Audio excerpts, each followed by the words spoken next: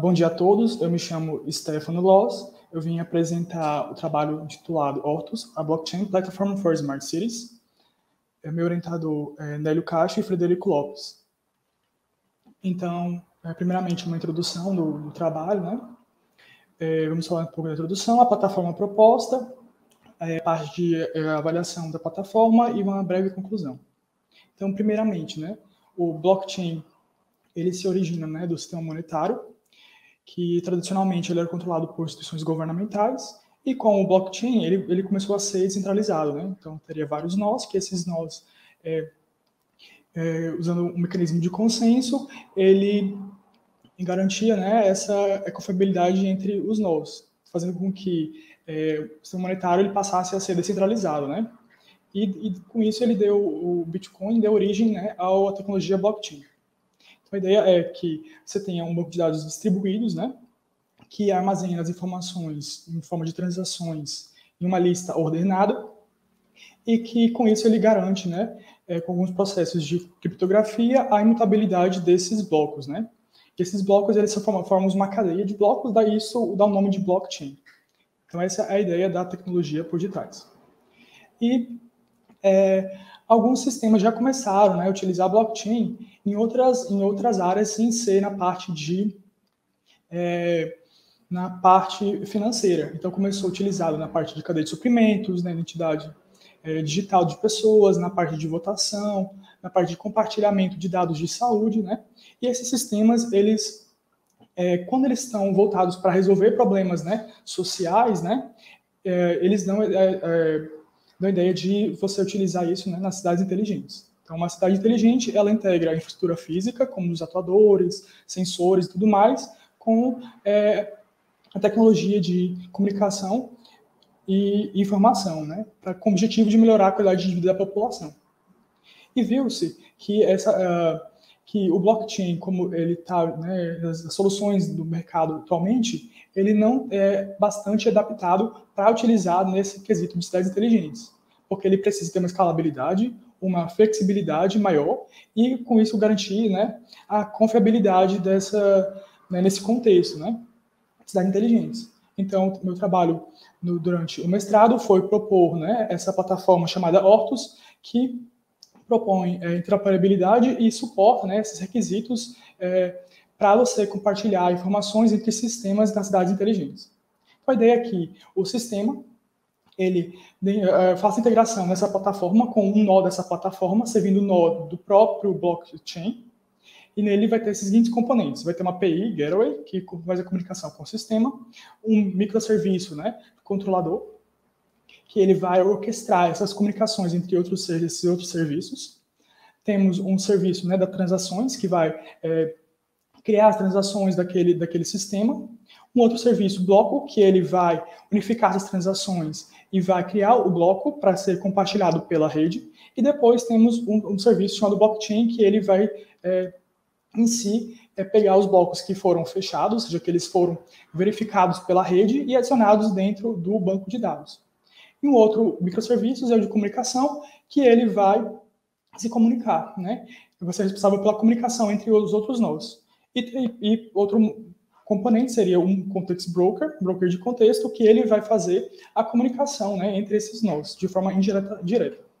Então a ideia é que os sistemas das cidades né, uh, implementem esse, esse, esse nó que se comunica através de um broker e ele pode ser organizado em diversas formas, né? Ele pode ter organizado em diversas cidades ou também em organizações, né? Então você teria é, sistemas de uma cidade que se comunicam com de outra cidade, para isso se comunicar com o Estado, né? O Estado para você unificar as informações do Estado, para depois se comunicar, integrar as informações do país como um todo. Então a ideia seria essa, né?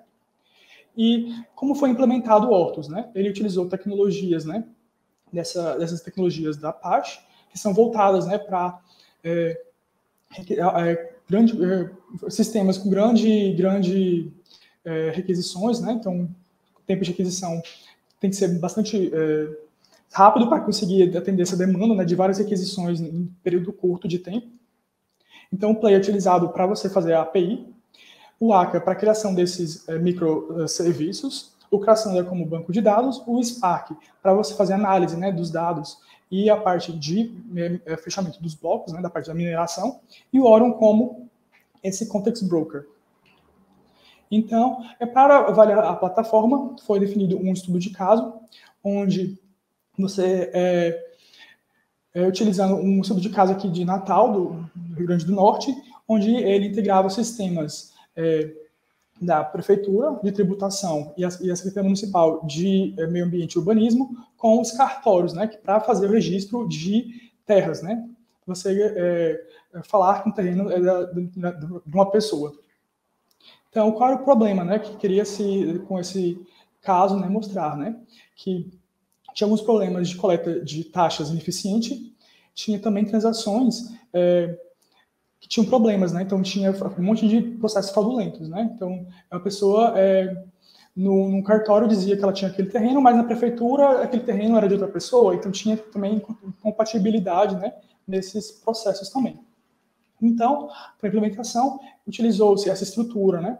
Para uh, dentro do broker, né? Context broker, sendo dessa forma. Então, teria as transações, que dentro dela teria atributos, né? O tipo da transação, Nesse caso aqui, a ideia é que esse, esse estrutura ela possa ser adaptada de acordo com é, o estudo de caso, né?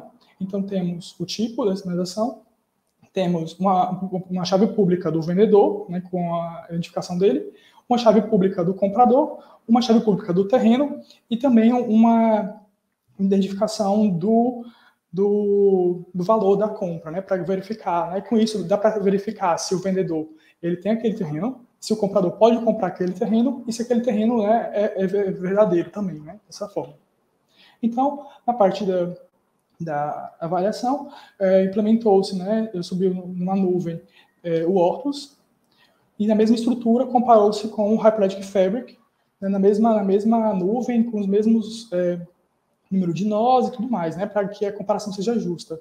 E foram feitas requisições utilizando o Gmeter como forma de você testar né, o estresse desses dois, ambos sistemas.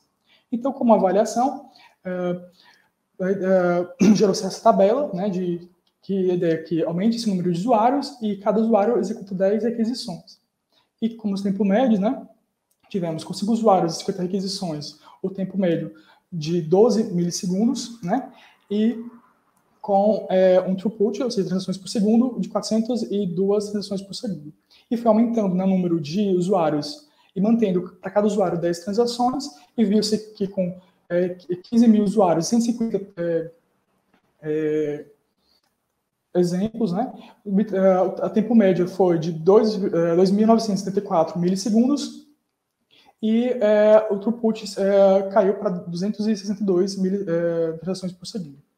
Comparando com o Hyperlogic Fabric, né, nos mesmos casos, vimos que uh, com cinco usuários, né, manteve a média de 15 eh, milissegundos, e, uh, porém, com 15 mil usuários e 150 mil execuções, né, ele não conseguiu responder. Ele, o sistema do Hyperlogic Fabric, naquele contexto, na nuvem, né, ele, ele não conseguiu executar as, a quantidade de, de, de requisições é, ser requisitadas. Então, comparando né, ambos, o Hyperlogic Fabric com o Hortus. O Hortus conseguiu é, manter né, nessa grande quantidade de requisições e também melhor do que o Hyperlogic Fabric. Com, com, no caso aqui, né, com cinco usuários, o Hortus ele diminuiu um pouco, porque a tecnologia ACA ela, ela cria mais microserviços de acordo com a necessidade. Como era poucos, não criou tantos é, é, instâncias dos microserviços né, dela. Já depois ele, ele, o, o Ortus é, superou né, o Hyperlogic Fabric. Como conclusão né, do, do trabalho do, da dissertação de mestrado, é, temos uma, uma, revisão sistemática né, para mostrar né, os requisitos do blockchain para cidades inteligentes. Foi proposta essa arquitetura da, da cidade inteligente chamada Ortus. Foi feito um estudo de caso envolvendo né, o sistema de registros de terra feito um comparativo entre o Ortus e o Hyperlogic Fabric. Em trabalhos futuros, a ideia é adicionar smart contracts na, no Ortus, porque atualmente ele só faz executa transações. A ideia é que os, os contratos inteligentes sejam a execução de algo do sistema que ele faz parte, né, que ele faça aquisições para o sistema, ele faça um, uma engine de gerenciamento dos nós, que é que esse, esse, essa, essa ferramenta ela possa cadastrar novos sistemas a serem integrados né, nesse, nessa plataforma, e também adicionar o, o, o algoritmo de tolerância a falhas bizantinos, né, para melhorar ainda mais o tempo de resposta do Ortus. E como conclusão, uh, tivemos, teve, esse, esse, trabalho foi publicado né, na Conferência Internacional de Cidades Inteligentes e obteve o, o, o prêmio de melhor, melhor trabalho. E, por fim, gostaria de agradecer a todos e me desculpar pelo, pelo vídeo que não saiu o áudio. Obrigado.